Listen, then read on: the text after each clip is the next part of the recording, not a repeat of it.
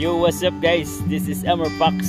Uh, today's vlog guys is about uh, empty house tour ulit. Empty house tour pero hindi sa bahay namin guys. Kundi sa bahay kung saan lahat kami eh, magkakapatid dito lumaki. So, ipapakita ko sa inyo guys kasi for the past na mga days guys is nagpapatrabaho rin dito. So papapakita ko sa inyo kung ano ang update. Okay? So silipin natin guys let's go!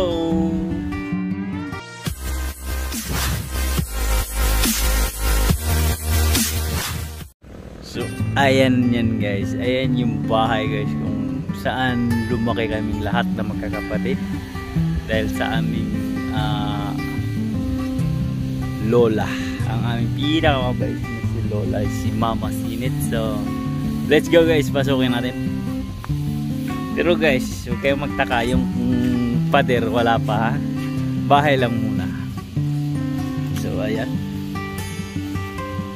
Ayan guys. Ayan ang aming main door. Ate guys, hindi pa tiles to. Hindi pa yan tiles dati nung unang dating ko rito. Ayan yung bintana. Di pa rin totally tapos guys. Wala pa rin laman sa loob. So ayan. Pasok. Ayan yung loob guys. Ayan. Anyway, ito yung buong loob ng first floor dito sa baba. Magtaka kayo guys kung bakit may bakal dyan Diyan po ay may poste dati. Yung posting bilog. Papakita ko sa inyo yung posting bilog. Andoon guys. So, oh. yan yung posting bilog. Yan yung dyan dati. Dinatanggal ko talaga kasi pangit tingnan at saka parang masikip. Kaya pinatanggal ko siya guys. So anyway guys, ayan na siya ngayon. Ayan, tiles na siya. Dati, ano to guys? Talagang bahay bahay barong barong lang. Dito ko lumaki. Ayan. Pero wala na nakatira dito guys. Kumbaga bahay bakasyonan na lang to. Kung sino ang uuwi yan dito po tutulog tapos dyan kaya huwag kayo magtaka yung hagdan at hindi pa rin naayos. Dahil kinapos na ako sa oras guys. Kinapos ako sa panahon dahil next week ako po ay lilipad na pabalik ng Barcelona. So, hindi na naman to magagawa. I'm not sure kung ipapatrabaho ni Uncle to. Ewan. Ayan. Yung hagdan di pa tapos guys. Anyway, pagpasok mo guys sa bahay, sa pintuan, ayan yung receiving area. Diyan. Diyan maglalagay ng uh, you know, upuan or whatever. Dito ang sala. Ito ang living room. Diyan nakalagay ang sofa. Yung sofa na pael. Yan, diyan. And then sa, sa, sa, sa straight na ito guys, sa tubo na to. Dito sa poste na yan. Dito ko ilalagay di ang TV rack. Yung lagayan ng TV. Diyan. And yung poste na yan, ito nakahiliran na to. Diyan. And then, dito naman ang dining. Diyan yung dining. Diyan yung dining table. Tapos, ay aming kitchen na maliit. kitchen na maliit guys. Napakababa. Oh. oh. Yan. Yung kitchen na maliit. Hindi pa tapos. Kulang pa ng nalagyan pa ng cabinet dyan. Yung hanging cabinet dito. And then dito sa baba ng hagdan is, storage. Diyan lalagay yung storage. Katabi ng ref. Ref dyan. Dyan yung ref. And then storage dyan. Or what is Shurak. Ano ba? Tapos dyan yung lutuan. Yung larger mania. Dyan. And then sa side na to guys, meron ditong room. Dati ano lang to guys, uh, storage room. Pero dahil gusto nila na may kwarto dito sa baba pinalakihan. Pero hindi gano'ng malaki. Sakto lang. Pinalakihan lang ng konti, mga 2 feet or 1 and a half feet. So, ayan, bago rin yung pinto na yan guys. Sa City Hardware ko binili yan sa halagang 2,500 plus ang door jam niya is 1,700. Ayan. Ayan, maliit lang na room. Single room. Pwede na rin double. Kung mag-asawa, pwede na rin. Tsaka tiis-tiis na lang. Okay? Dito ang space na yan para sa para sa cabinet. Okay. So, punta tayo sa paglabas mo ng kitchen, guys. Andun yung exit door.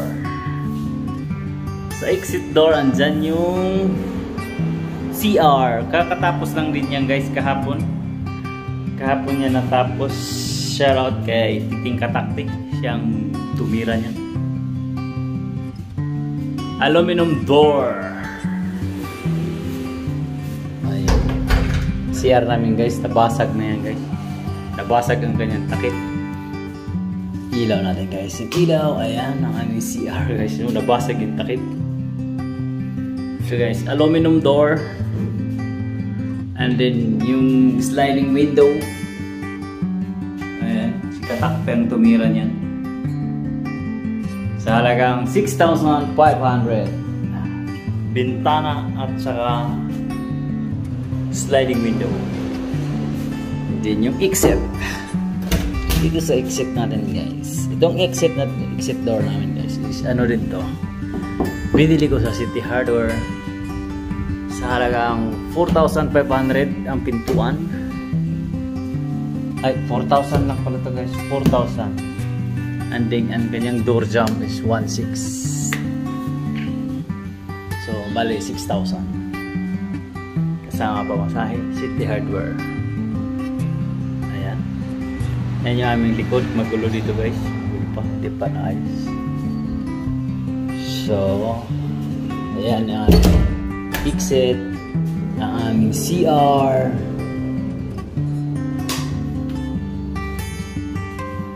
so ayan yung kabuuan ng bahay dito sa baba. Okay ito guys. Napakaganda. Oh kayo magtaka guys. May balon. Kasi nung nakarang araw eh dito ineld yung birthday ng anak ni Chandro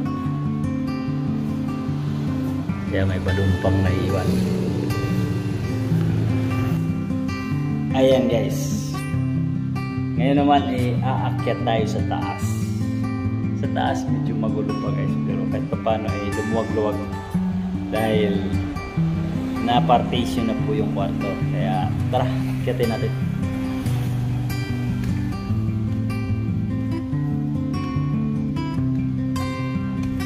Ayan guys, pag akyat mo rito guys, ang sahig dito guys is kahoy.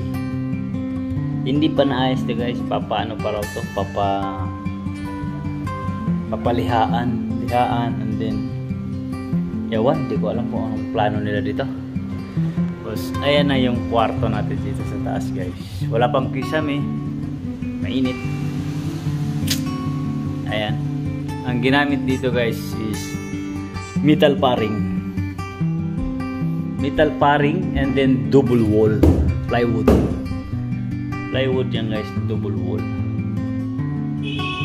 dyan yung kutsisito na aming baby Gian and then ang ginamit kong door jam dito guys is bakal tubular tubular na 1 by 3 ay sorry 2 by 3 ah 1 nga 1 by 3 pa guys. Sorry, sorry. 1 by 3 na tubular. Yan yung ginamit naming door jump dyan. And then, pag nagkabit ng pintuan guys, dapat may wall angle dito. Lagyan dito ng wall angle para yung pintuan ay hindi tatagos-tagos. I-repeat lang yan dito guys. Ayan. Ito yung sa gitna, yung kwarto sa gitna.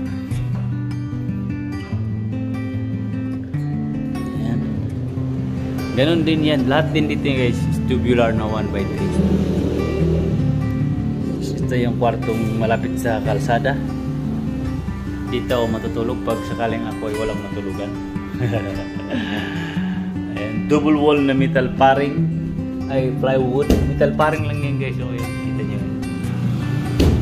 Yan, baka huwag kayo magtaka pag nagkisamin, hindi na yan makikita guys. Double wall ito, plywood. Tapos, yung dito guys, ayan ay bintana, pero sinadjust ko, mas maganda gawing sliding door. Sliding door, aluminum, aluminum glass. Sliding door yan dyan. Para diretsyon terrace. Yan yung terrace. Hindi makikita dito sa kabila. Okay guys.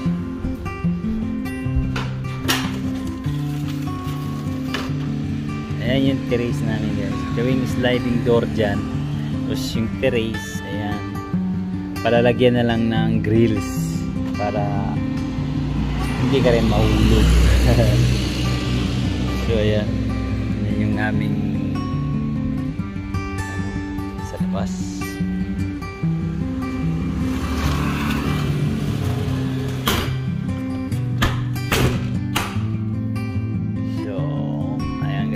Yun na yung kabuuan dito sa bahay. Empty house tour. Yung bahay guys kung saan lumaki kami lahat. Magkakapatid. Dito kami lahat lumaki. Yan. Ba na tayo guys. Nakaka ano dito kung bumaba guys kasi yung hagdan ay napakalalim. Ewan ko pa kung sino kumuha nito. Yung PE player yata. Ang, lalaki ng baitang. Nga hapa. Yan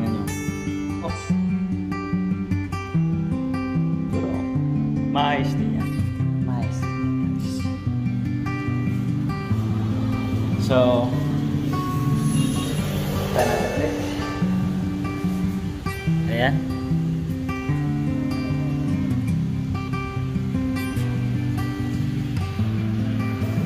So that's all guys. Once again, this is Summer Parks. Don't forget guys to like, to share, and subscribe and click the bell button guys para always updated sa ating panibagong vlog. Bye-bye!